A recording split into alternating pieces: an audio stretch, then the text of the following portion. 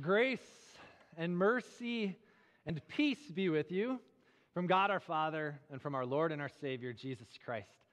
Amen. There's a phrase that perhaps you are familiar with. Uh, It's the phrase, the grass is always greener on the other side of the fence. If you've never heard that before, it means essentially we think that if we can just get over there, somewhere else than where I am, to that other place, that things will be better. It'll be greener pastures. It'll be so good. But honestly, those of you who have lived long enough to cross over that fence a time or two and maybe even go back, you realize the reality that the grass is not always greener on the other side of the fence. You know, oftentimes we build things up in our expectations. We build up these hopes and these dreams. We set lofty goals, and there's nothing wrong with this. It's good to do so. But oftentimes, what happens is when we get to that reality, we realize maybe it's not as good as I thought it was going to be. Sure, maybe it's better than where I came from. Maybe, maybe you set a lofty goal and you achieved it. Maybe you set a dream and you got there. But once you got there, you realize it's still not perfect. This new situation in life still has its frustrations, still has its limitations. It's not all it's cracked up to be. Because reality often does not match our expectations. Reality does often not match our expectations. What we expect to happen in life, it might just not pan out in real life. We are in chapter 19 of the story today. Chapter 19 of the story, it's right in the middle of the Bible. The chapter title is The Return Home. Now, some of you are just here for the first time today. You haven't been journeying with us. And even those who have, it's important for me to set the context for you once again, because this is a huge moment in the lives of God's people and for an understanding of the scripture in general. So here's where we are in the story. There's, there's a lot that happened before this, but essentially, God's people had been living in the promised land, the land of Israel. Due to their faithlessness, and they're turning away from God and turning towards other gods and disobeying God's law, God had allowed them to essentially be destroyed. God allowed a, a, foreign army, the Babylonians, under the direction of King Nebuchadnezzar, to come to the city of Jerusalem, the epicenter of, of the worship of God's people, and destroy their temple, burn it to the ground knock down the impressive walls that surrounded the city, burn down the homes, and take the people who lived there and bring them hundreds of miles away into captivity.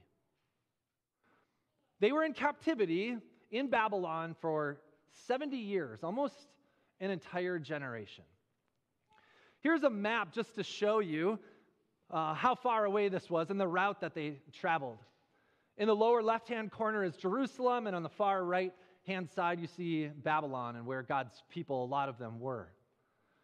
After 70 years of captivity, there was a new king. Actually, a new empire took over. The Persians took over from the Babylonians, and there was a new king, King Cyrus. And King Cyrus said, Go home, go home, exiles. So he sent them back home. And he, he sent them back home actually with a decree that they should go to Jerusalem and rebuild their temple. Quite remarkable. So these returning exiles, they had such a hope, such an excitement. And we should, when we're reading this story as, it, as it's told in the book of Ezra, we too should be excited for them. They get to go home. How awesome! Uh, In the first wave, about 42,000 people headed back to Jerusalem. And when they got there, when they got there, well, things had changed. I mean, it's been 70 years, a lot happens. People have moved into Jerusalem. Actually, intentionally, the Babylonians had sent other people and moved them into Jerusalem. But what they see is rubble. The, the, the, rubble of the temple, it's still there. The rubble of the walls, it's still there. Again, though, you can imagine the great excitement they had while heading home. But did the reality of their excitement match their expectations once they got there? Likely not. But we don't really need to just wonder about what reality was like for God's people. We actually have it recorded for us in the Bible. Pastor Kevin read it in Ezra chapter 3 today. One of the very first things that God's people did uh, two years after their arrival in, in town uh, was to rebuild the foundation of the temple. So they rebuilt the foundation of the temple and then they constructed an altar just on that foundation because they were so excited to, ha- to, to restart their central worship life. Before there was ever walls and a ceiling, and you can imagine this was a big deal. Priests and their vestments and a huge dedication ceremony here on this concrete slab. The young people who were there, who were born in exile and had only heard about this centralized worship life, were so excited to be here and have this worship that they shouted with great shouts of joy and praise. But there were also old people there, old people older than 70, who had been born in Jerusalem before captivity and had seen the former glory of Solomon's temple and they knew what that looked like. And returning from exile, this concrete slab and this rack, ram, ramshackle altar, it, it just didn't cut it for them. And so for them, those old people, they actually wept. And Ezra records for us that the, the, the sound of people's cheers and the sound of people's tears were both so loud that they were indistinguishable from one another. The reality of their return just didn't match expectations. Those of you who uh, have been around our church for a while maybe remember that at the end of last summer, the end of summer 2021, the, the last sermon series that Pastor Kevin and I preached prior to jumping into the story, actually covered this portion of Scripture. We preached through the books of Ezra and Nehemiah. So if this is sounding familiar, it's because we covered that just a couple of months ago in great detail.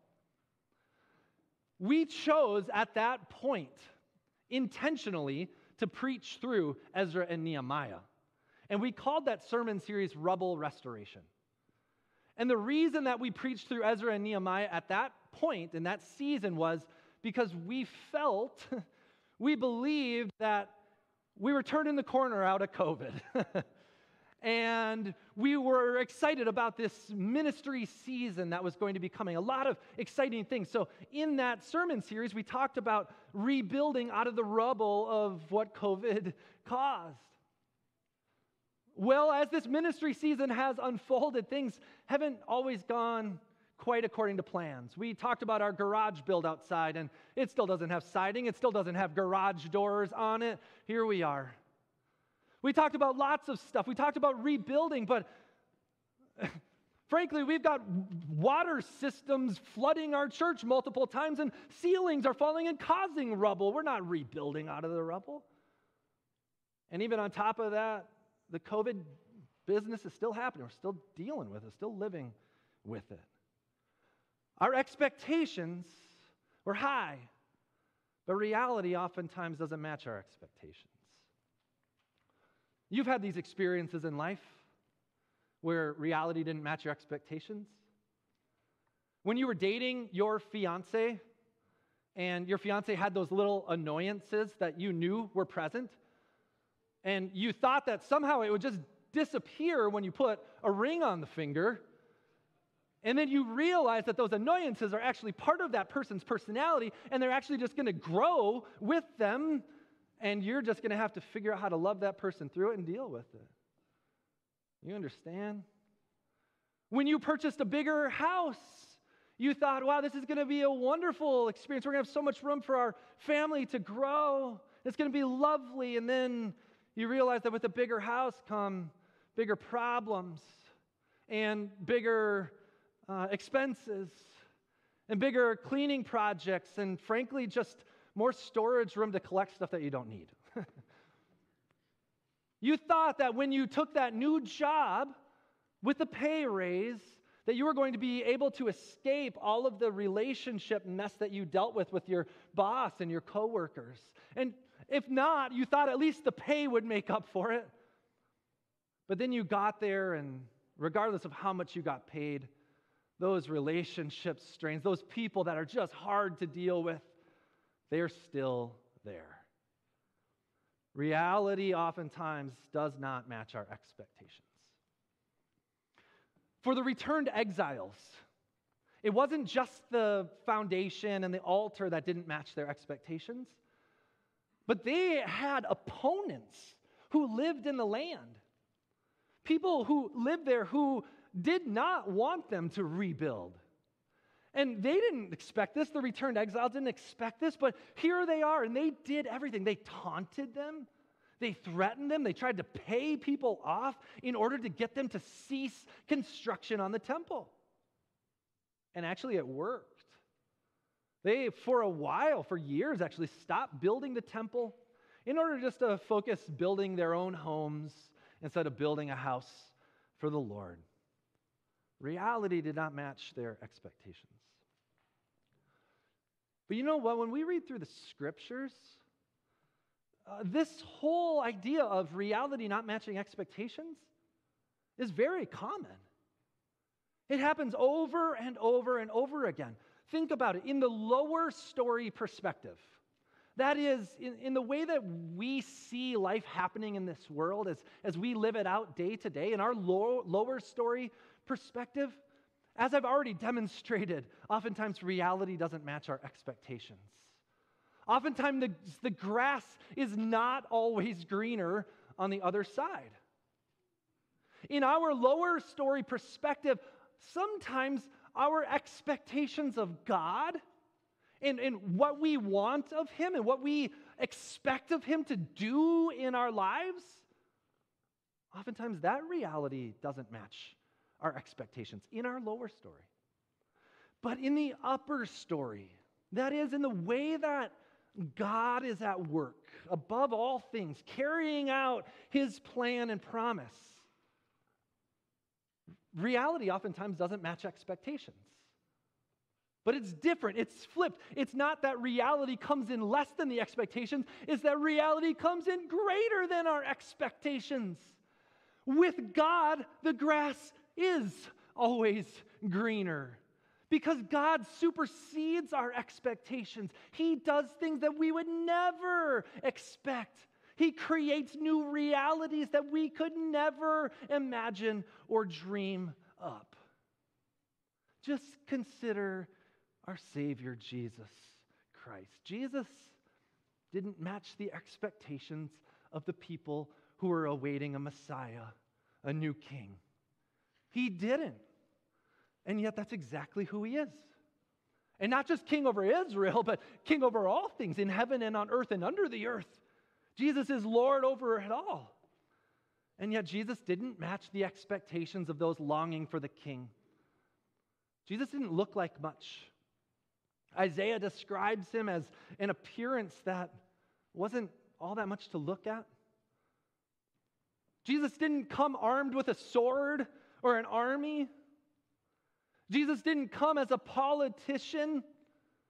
Jesus did not come with great might and authority here on earth. Jesus came lowly, humble, homeless, and eventually Jesus died. What kind of king can be king when he's dead? A king who's dead is no longer king. This is what we've seen in the story play out. When a king dies, the next guy just takes over.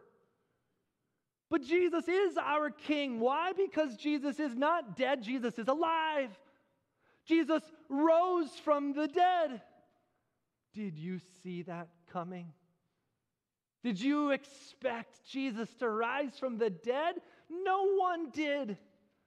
Even though he explicitly told them multiple times, I will die and on the third day rise from the dead, his followers were shocked when they saw him alive. They could hardly believe it.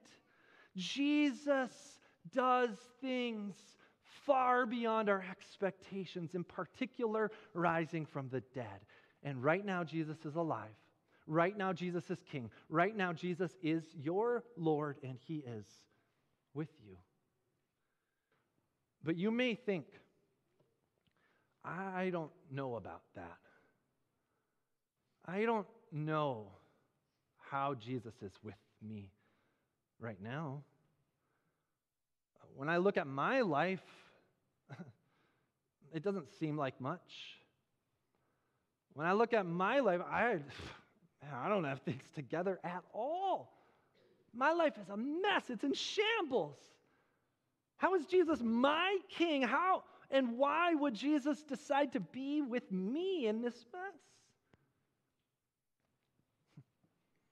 In our second lesson today, from the book of 1 Corinthians, chapter 1, we heard the Apostle Paul say these words Consider your calling, brothers.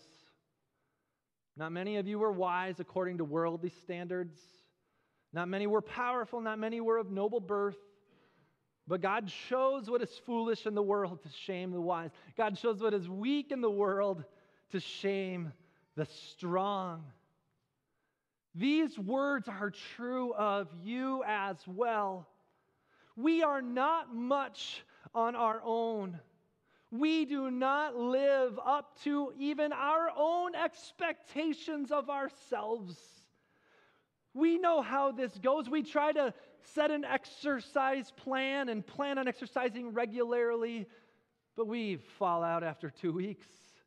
We say, hey, we're going to keep our house clean, and after two days, the kids have destroyed it. We say, hey, I'm going to eat healthy, and then there's big bowls of candy at the office, and we fall right for it. We know this reality. We are weak and lowly and foolish, despised, nothing kind of people, and yet God has chosen us to be his people. God has chosen us to be his people. Why has he chosen us who are so nothing? Because if we're going to boast in anything, then we can't boast in ourselves.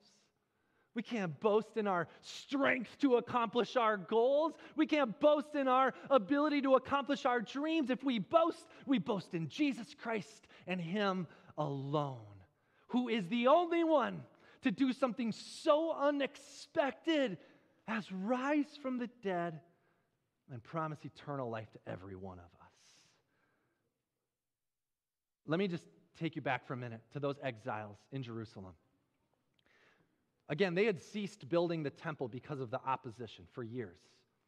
And that opposition, it's humorous how this works out, because that opposition, uh, they, they wrote a letter to the king of Persia. It's a new king now, years later, a guy named Darius because they, the, the, the, Jews had said, hey, we have permission to rebuild the temple, but the opposition said, who gave you permission? They said, King, King Cyrus. And they were like, well, all right. So they write this letter to Darius.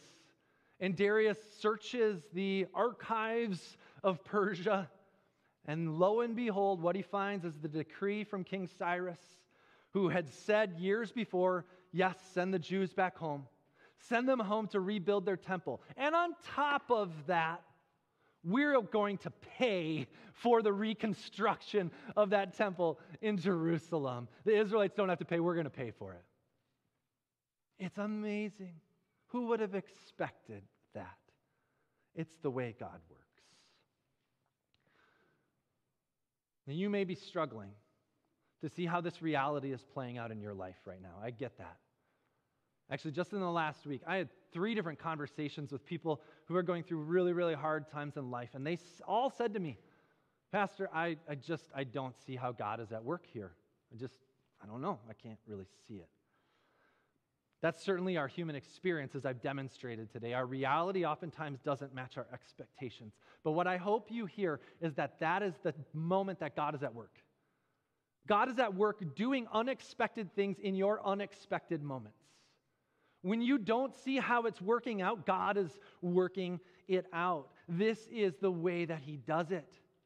This is the way He does it. And we see it most clearly in Jesus, in who He is and what He has done for us. Jesus offers to you mercy, it means He lets you go. When you deserve to be punished, He says, No, I'll take your punishment. Jesus gives you grace, which means He loves you when you are unlovable far beyond our expectation. This is what Jesus does. So let me just tell you today, let me boldly declare it into your ears and into your life that Jesus is with you. He does love you. He is working things out in your life. He is king. He's ruling and reigning over all things. And Jesus is going to do the most unexpected thing for you something beyond your wildest dreams something in your human reality that you could never fathom. He's going to raise you from the dead. On the day that He returns, you will live forever and ever in a glorious, perfected body, forever and ever in a glorious, perfected new earth. It will be wonderful, far beyond your wildest dreams, far beyond anything that you could expect. See, that reality will be exactly as Jesus has promised but it might not even match your expectations because what you expect cannot even compare with the glory that He's got prepared for you. I look forward to that day with eager anticipation in the name of Jesus Christ. Amen.